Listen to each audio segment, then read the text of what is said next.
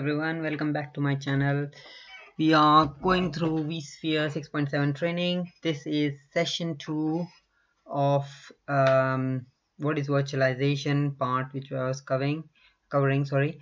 Um, so session 2 is what is cloud. So I just want to have a quick recap um, of the training. So you'll find the full agenda on the first video which I have done which you'll find if you search uh, uh, VMware for beginners and um, I'll also link it at the end. But um, let's quick recap for who is this training for. Anyone who wants to learn virtualization no IT background or experience required as there's no prerequisite because I'm going to take you from the basics and it's going to be so much fun you're going to learn this technology.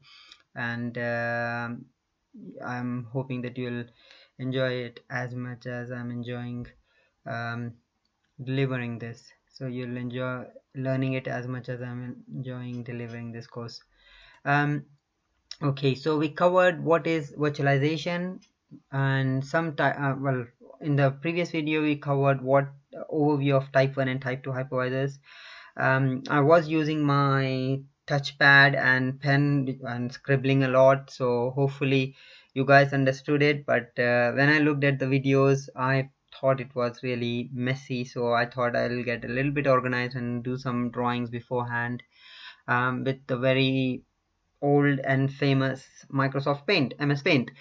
Anyway you'll see my drawings very shortly.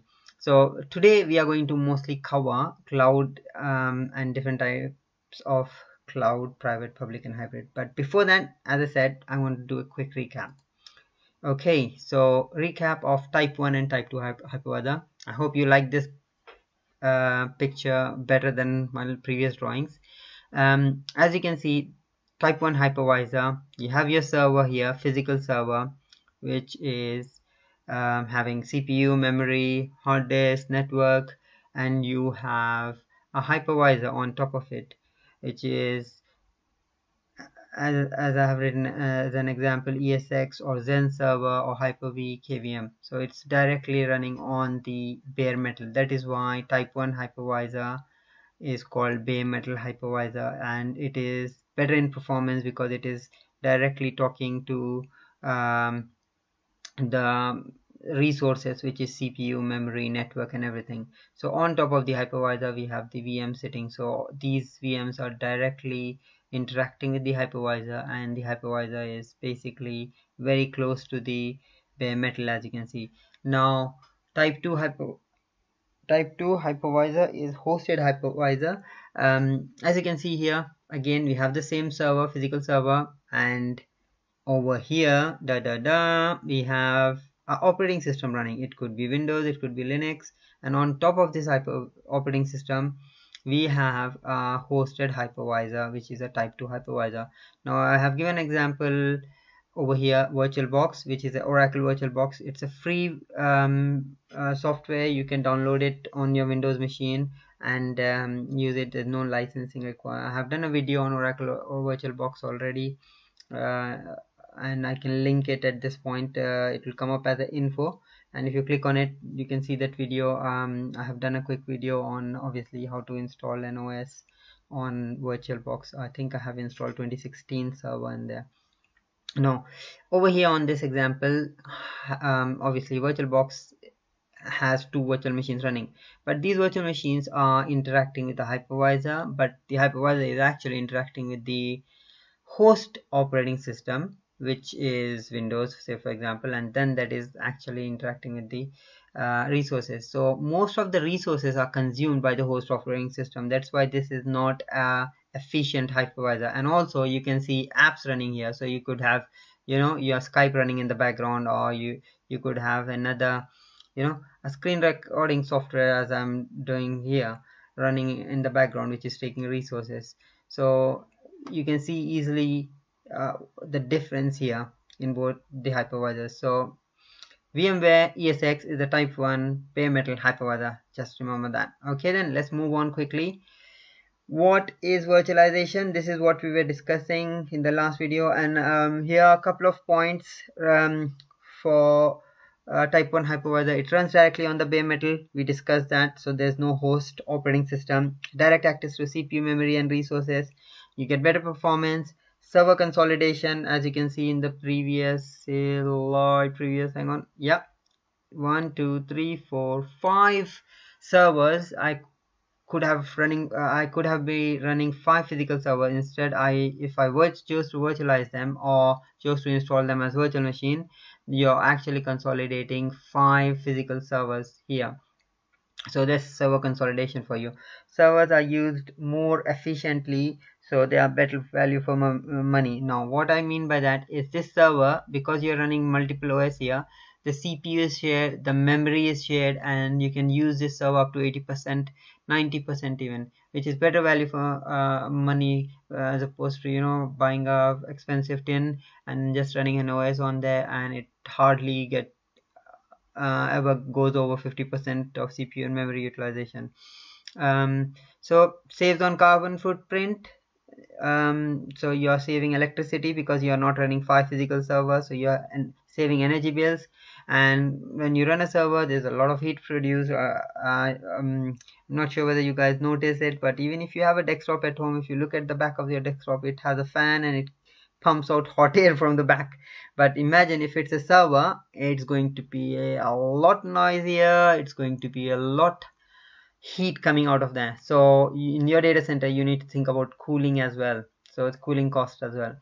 And obviously as it's a virtual server virtual machine is like a file. You can manage it easily. You can move it around. You can you know clone it and do all sorts of things which we are going to learn in the coming videos. Okay um, let's move on to the next topic. I uh, think uh, I wanted to first focus on infrastructure as a service um, which is basically um, so these are different types of um, platforms. Infrastructure as a service platform as a service and software as a service. You might have known you might have heard these uh, terminology as PaaS and SaaS. Um, now this is another diagram which I have done on the very famous MS Paint. So in your infrastructure private if you are running everything on your own if you're managing your infrastructure on your own so you will have a private or in traditional IT on-premise solution which um, if you look at here I have written you manage. The green color is what you manage. Uh, so in a traditional world you manage everything. But when we are talking about cloud um, it's basically moving um, the uh, the shift of paradigm is basically you are not going to manage most of the resources. You only manage what you need to and you focus on what you are good at. What i mean by that is when you move to infrastructure as a service you don't need to worry about you know the hypervisor. The hypervisor is managed by your service provider which could be i'll give you some examples like amazon and they they take care of the hypervisor. Uh, they care, take care of the patching. They take care if it goes um, faulty if it has an error hardware failure or anything. So in traditional method you have to take care of your physical network the physical server storage um, yeah and um, uh, virtual server the guest os which you're running on them if you're running virtual environment middleware security data and also application. So you are owner of everything and you manage everything. But in in infrastructure as a service all these are managed by your service provider up until this. So from physical network storage and physical server to the virtualization layer. So you basically get the virtualization layer and you start spinning your virtual machines on there. So that's infrastructure as a service. Now platform as a service again you're more focused on your application what you build. So if you are a designer or a web designer or you design an application you only focus on your application that's that's the beauty of it. And you don't need to worry about you know maintaining the environment the physical environment the network you know throughput the performance. Everything is going to be take care of your service perform uh, service provider. And you only manage your data and your application. Now going further down software as a service you don't manage anything. You just use it and you are the consumer of the service. So it's a software as a service um, service provider manages everything you just go there and use this service. So i hope you like this diagram. Um so let's move to the next point which i wanted to discuss which is the most important um, examples. Um, so we i have shown you infrastructure as a service platform as a service and software as a service. So let's go through some examples. Um, infrastructure as a service is Google Cloud, Amazon Web Services, Azure, Rackspace. So if you want to um, know the most famous one, it's AWS, Amazon Web Services. Then it is you know Google Cloud, then Azure, and then you get a lot of other providers like OVH is there, Rackspace, and all the others so that's in uh, these are the service providers which i'm talking about the infrastructure as a service. And then we have the platform as a service.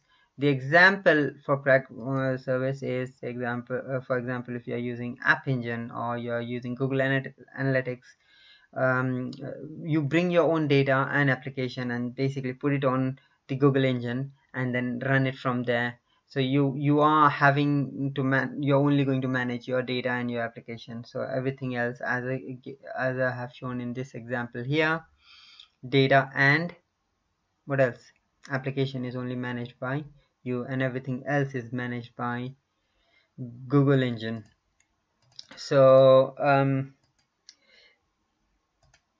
coming to the last one which is software as a service and the examples are email the most important one we use it every time. You don't have any control over managing what email service you have what obviously number of you know your your email you're just logging in to yahoo google or you know um, hotmail and then you are just accessing it. You are the you are just the consumer. So that's an example of software as a service. Dropbox is another example. Skype whatsapp Google Apps again, Microsoft Office 365 is another good example. So these are a few example of software as a service. So I hope you guys understand now the virtualization bit which we went through. What is virtualization and what is cloud? So obviously um, in cloud there is IaaS, PaaS and SaaS which we discussed now. But another type of cloud which I wanted to deep dive is types of cloud, private, public and hybrid so let's go in this example. Again another beautiful drawing by me. It looks like a little bit um, um, childish but I think it does convey the message so I don't really care whether it does uh, look uh, a little bit childish. Um, what I want to focus is I'm not using a copyrighted image and this is image which I have created and I think it does explain what I want to uh, do. So you have your own private cloud, which is private infrastructure, and you have AWS, a public infrastructure. Um, so if you choose to do a hybrid cloud with AWS, so you can um, you can either go public completely and get rid of everything from in-house or on-premise, so you then only have a public cloud, or you can choose to run some stuff on your uh, VMware infrastructure on the premise and then some on Azure. And then when you do need um, some extra capacity you can spin up more VMs here. And then you get that extra capacity when you need um, and then you when you don't need them you power them off. So you are not paying the extra bill to Amazon. So that that's basically if you're uh, using both private and public um, infrastructure is called a hybrid cloud which is why I have written hybrid cloud here. Okay that's pretty much it. That's the types of cloud which we wanted to which I wanted to go through with you guys. Uh, I hope you like my images.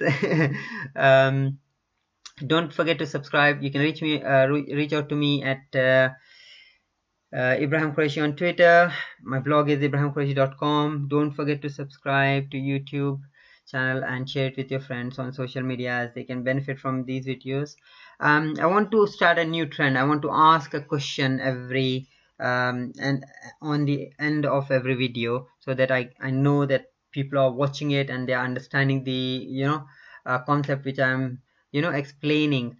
Uh, so the question of the day um, which hypervisor is better in performance type 1 or type 2 um, and then if you do want another challenge a um, answer uh, you can give me an answer of um, this question which is ESX vSphere ESX which is the VMware hypervisor. What type of hypervisor is VMware ESX vSphere ESX so that's another question for you. So the first question is um, which hypervisor is better in performance type 1 or type 2 and the second question is um, which uh, what is VMware ESX which type of hypervisor is VMware ESX vSphere ESX uh, vSphere. Which, um, so yeah I would uh, love to hear your comment uh, comments. Just respond to me uh, with your uh, with your answer. And then um, let's see who get it right shall we? Okay. Thank you very much. I hope you like this uh, video and um, stay tuned for my next one. We'll stay uh, deep dive into um, virtualization and um, VMware ESX installation actually. I think it is the next one. So we'll directly dive into installing a ESX server but I think I'll go through a little bit of um, going through the website how to download the ESX server from VMware website and then um, obviously once we download we'll go through some installation so stay tuned for that. Thanks. Bye